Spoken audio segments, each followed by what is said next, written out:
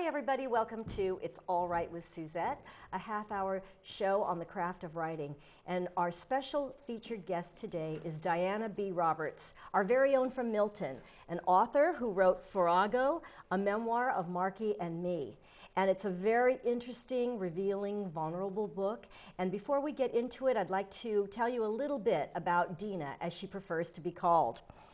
Um, for 25 years, she's been a successful uh, professional development. Um, she's had a very successful career as a development officer and fundraiser. Currently, she works for the Boston Conservatory, and her past career has included some of the largest institutions in Boston. She served in the Peace Corps before earning a BA in communications from Drake University.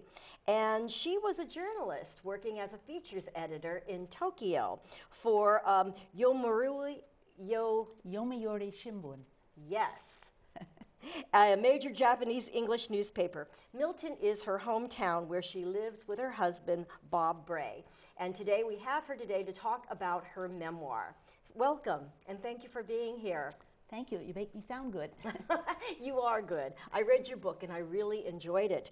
Um, first of all, Farrago, a memoir of Markie and me. What is the meaning of Farrago and why did you choose that word to be in your title? Um, it's interesting. There's an old little thing where you have words for the day with a dictionary, little pages you turn off. And about 30 years ago, I found the word Farrago.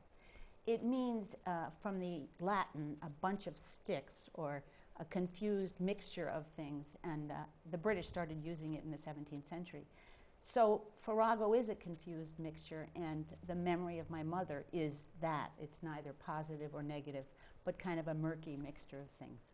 Well, I think you do a very good job of capturing a conflicted relationship with your mother, who in the book you reveal has mental illness. So tell us a little bit about what your book is about.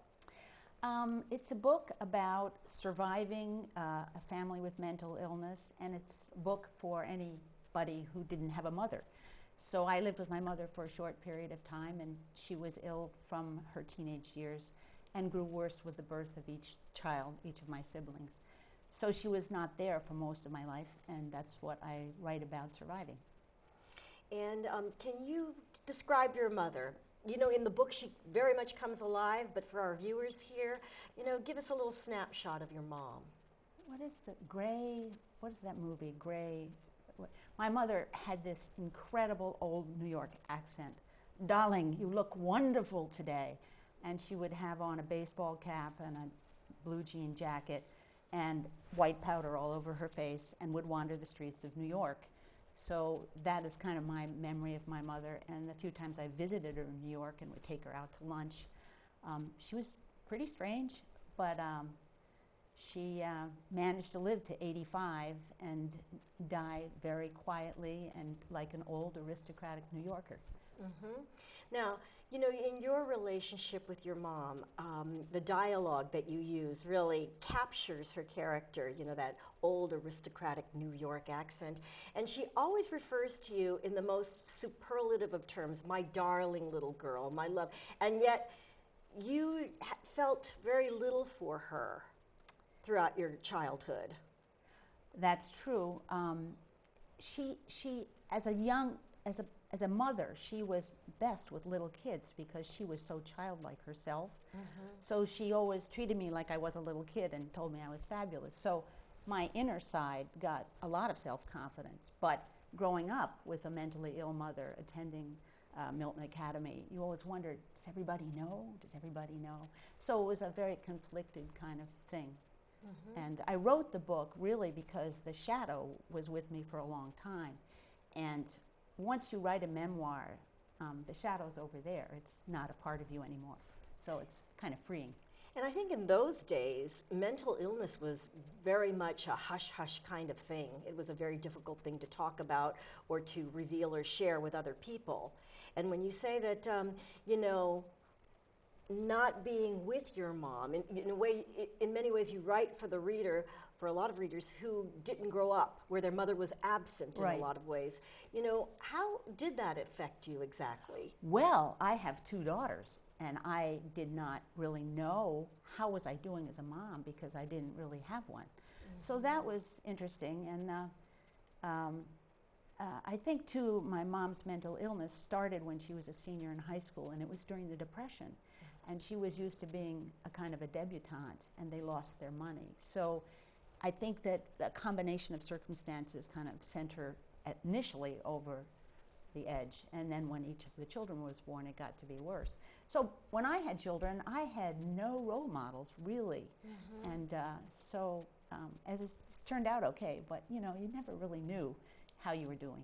Yeah, I understand. You know, I uh, my mother had a nervous breakdown when she was when I was 15, and so I do understand. You know that whole. Um, Like Phil Donahue, how am I doing? You know, Right, that whole know. you're kind of cast adrift and you don't have anything to compare it to and, and all of that.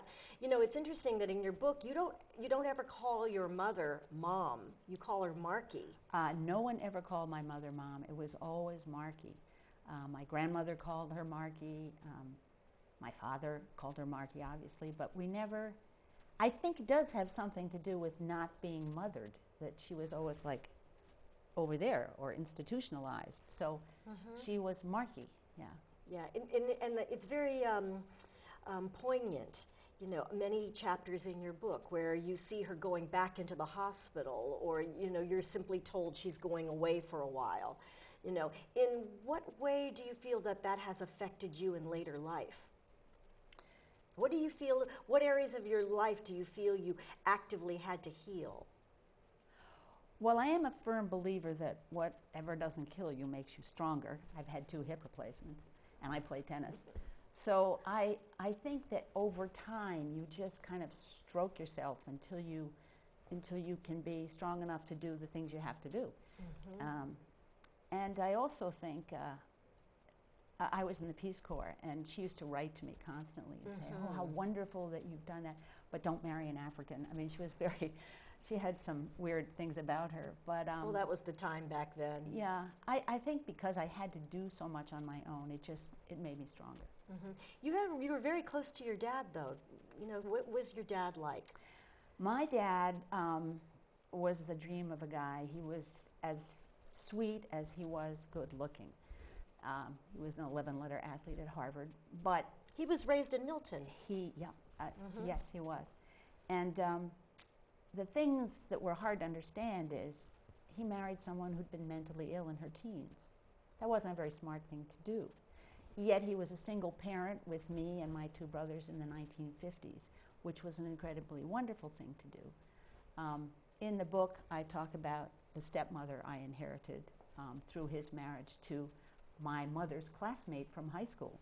So that was not an easy time. So there were things that I didn't really have answers for about my dad, but I did love him very much. And uh, in the story, he dies on Christmas Day. So while I'm in the Peace Corps. Yes, and you were very close to your grandmother Muffy, who pretty much raised you. No, that's my gra- my grandmother, Pierce Roberts, Oh, the other grandmother. The other grandmother. Yeah. Okay, so, so that's right. So you were raised by her, and your mother's mother was Muffy. Yes. Yes, and what was your relationship with her? She was in New York. Well, she was she was pretty odd. She drove a pink Cadillac, and the day I landed in New York to go in the Peace Corps to Tunisia, North Africa, she brought me a huge Whitney sampler. What was it called? Whitman samplers. Whitman sampler, full of vitamins, because she was convinced that if I took the right vitamins, I would not be crazy like my mother, and that my mother had not taken the right vitamins. She didn't. She didn't always get that, as they didn't back then, that mental illness is more than vitamins and hormones. Mhm. And you know, the book opens up with the death of your Yes. mom and your ambivalence. Yeah, absolutely. Um, my mother died at the Deaconess Needham Hospital on referral from the Phillips House at MGH, which she loved because it was for upper class ladies, and I was born there. Um, and when she died, it's true, I was the first person out of the room. the nurse said, You can stay as long as you want, and I just wanted to get out of there. And the next day was the marathon on April 16th in 2002. And uh, I wanted to be in the marathon. I didn't want to have to prepare her farewell.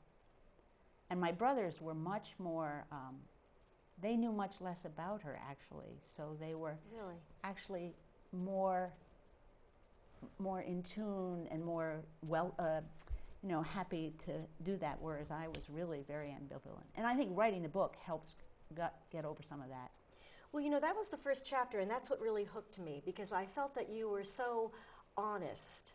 You know, here your mom had died, and the fact that you rarely saw her throughout your life because of her mental illness made you ambivalent. You know, at her death, and I thought that it was such a very, it was a very raw and revealing way to open up a book. oh thank you I did. And, you know, I think that um, there are a lot of lessons also for the modern family because, you know, the modern family in many ways is split up and fractured, and, and perhaps there are many children that don't get to see, you know, a particular parent as much as they'd like or whatever. You know, what, you know, what do you feel were the le- are the lessons that you're imparting from this book? well i have two daughters you know and they they always thought i was so out there and i guess i was Out there in what way? you know, I was always running up and down the soccer field or, you know, chasing some donor or whatever. And, um, you know, I went through divorce. And it's interesting now that um, I'm older and they're older, I think they see their mother as a much stronger person than they realized. So I, I do take that away from writing this book. Um, and uh, I just, I feel a lot more whole. And I know that I have a number of people, uh, women friends who are tennis players, have you know called me and said thank you so much because I have my own issues with my mother and this helped me. So that's good. Yes, it was really a great book to read. Um, now, you mentioned that it might, earlier when we were talking, that it might be a springboard to another book that you're working on. Absolutely, just like old singers who reissue their records, that's the same old songs. You can't do that. So I'm writing a, a new book called Three Times a Lady from the Lionel Richie song uh, about portraits of three marriages in different cultural periods in this country the 60s, the hippie marriage, the 70s, the yuppie marriage, and the 90s, the companionship marriage. So uh, it's a, really about a writer who wanted to be a writer, but life and three marriages got in the way. So it, when she turned 70, she starts writing again. And yes, it's fictional, but yes, they are my marriages. Oh, that's that's going to be a really interesting book. You know, was it difficult to, um, you know, to to reveal these painful episodes in your life? You know what? Um, I always wanted to be a writer. I mean, I always was a writer, but I wanted to be an author. So I just started writing after I reread all my diaries. I was not thinking about this as revealing until after I edited a number of drafts.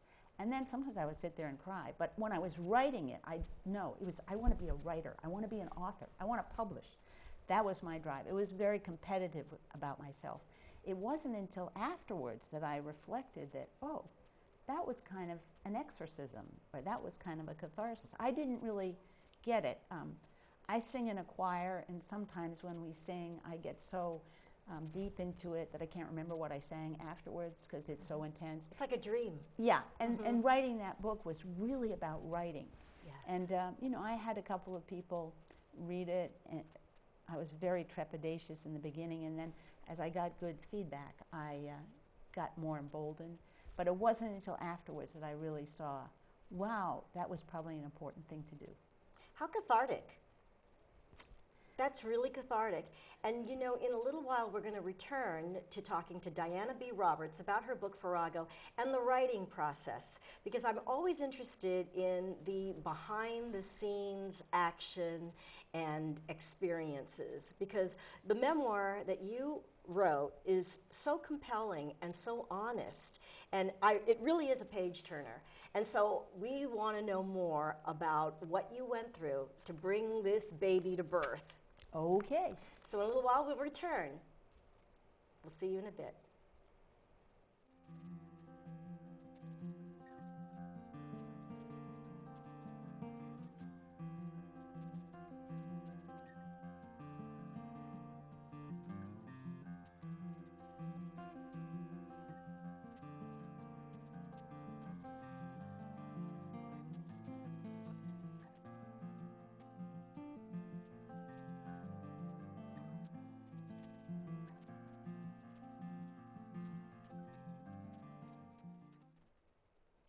Everybody. Welcome back to It's All Write with Suzette with our special guest, Diana B. Roberts, the author of Farrago Memories of Markie and Me. And we're going to talk now about your writing process. And, um, you know, I'm, a, I'm kind of curious because I think that as writers, we draw from all kinds of experiences in our life. And you've had a very long and successful career as a professional um, development officer and fundraiser. That's a lot of writing and communication. So, and you've done that for 25 years. In what way did that kind of um, writing, or did it, come to bear or influence your memoir? Well, the process of writing you, your memoir. you probably have heard of the writer Colette, whose husband used to lock her up in a room and tell her she couldn't come out until she wrote. I just want to say my husband spent a lot of time encouraging me to write, and he was great. So, um, writing for development is really very repetitive. Thank you so much for your donation. Da, da, da, da, da. Um, for me, um, I always wanted to write, Mm-hmm. but uh, and I, I did publish a short story. I did some writing for the Washington Post um, social section. Um, but I wanted to write something authentic. And so uh, I really wanted to be a published author. I have this quirky thing where I can just go up to my room at 8 o'clock in the morning and not come down till 6. You're in the zone. Yep, I can get in the zone. Even though I'm a very outgoing person, I would say that development writing is not really an influence. This writing is an escape from development writing. I mean, development is a wonderful and authentic profession, but it's, it, it's, um, it doesn't cre- create your creative juices. Tennis does it for me, sports, um, and just the love of words. I, I'm also a pretty good linguist. I, I did speak French and Arabic in the Peace Corps, and the sound of words is always And Japanese. uh, Skoshi. yeah, a long time ago. And I like to sing, not necessarily well, but music and words do it for me. The actual act of writing sentences, I really love to do. Even though I'm a big talker, I can go up there and just do that. The other thing is, I'm a good storyteller, and so a lot of what I write is a story. Not every phrase is great, but the stories are pretty good because I've done a lot of different things. And when you decided to write this memoir, you know, you drew from journals. Yes, I've kept a journal since I was 15. Uh, everywhere I went in the world, Japan, coming home, across from east to west, um, during being married, um, working. Um, there are things in my journals that say, I hate this.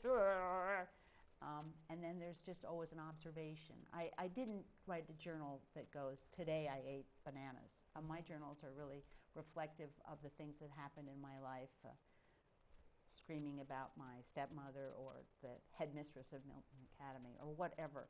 So um, I had a chance to go back and read them when I had a hip replacement because I couldn't get out of bed, and uh, I just that's got me started.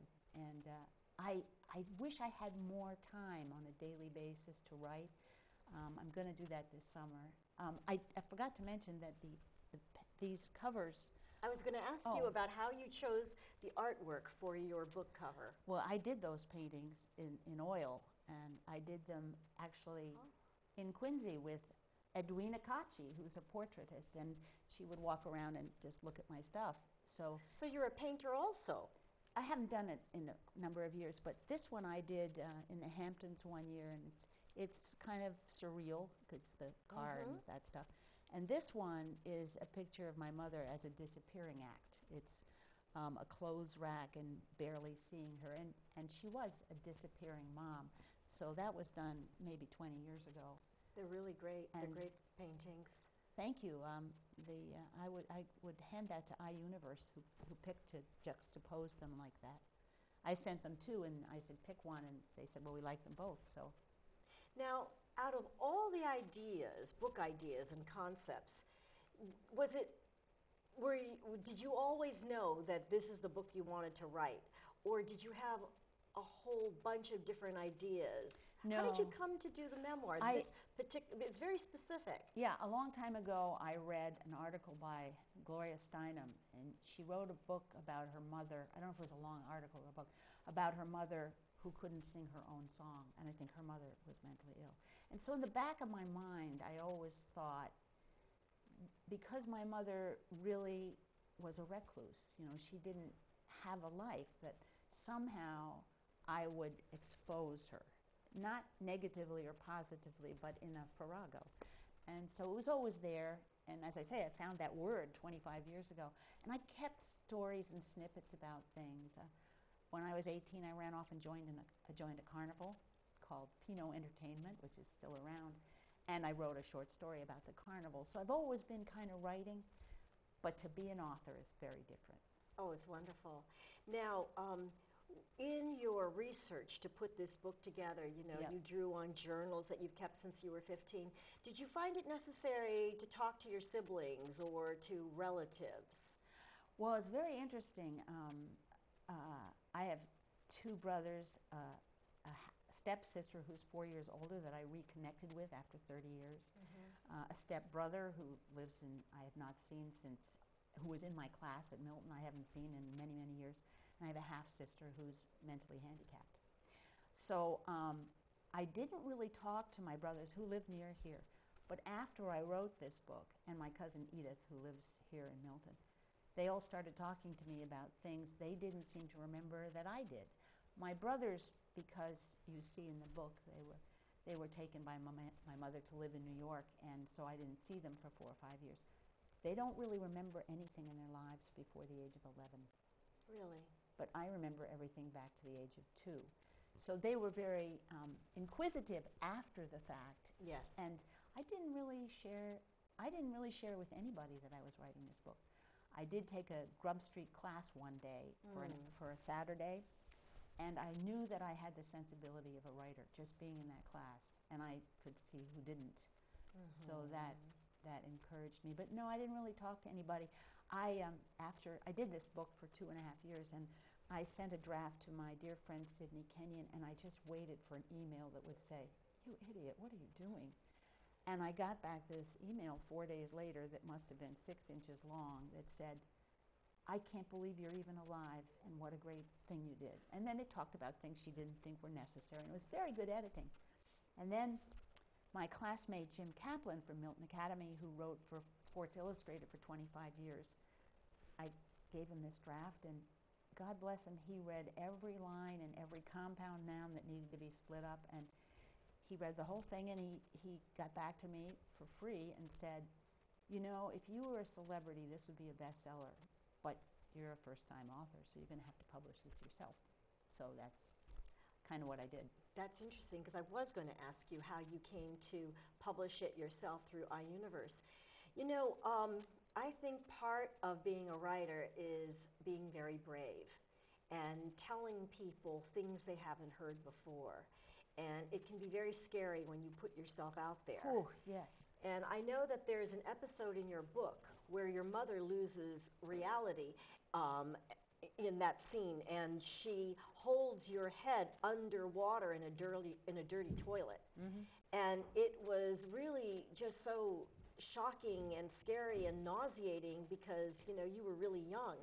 So, you know, how did you? Was it difficult? You know, when you when you had to relive those memories in your mind in order to write write that chapter. I know I scared a few friends. um, I have a dear friend who's head of uh, um, the Harvard School of Public Health study of suicide in the military, with whom I play squash. And he said once, you know, some kids have an ability to just be resilient, and some kids don't. And I think I'm one of those people that goes through an experience and doesn't evaluate it until later. So even though I can actually remember being nine and having my head shoved in a toilet, um, I, don't, I don't remember being scared and I don't remember screaming at her. I just remember, as I said in the thing, is this all? Is this all there is? You know, so, and I've had a lot of experiences like that. I mean, the Peace Corps was, you know, I didn't know what was going to happen. So I don't kind of, I'm not very reflective until after. And that's why I said I didn't really reflect on this book until after it was written. Well, your reflection is a gift to everybody because I think that in being brave, you inspire others to be brave.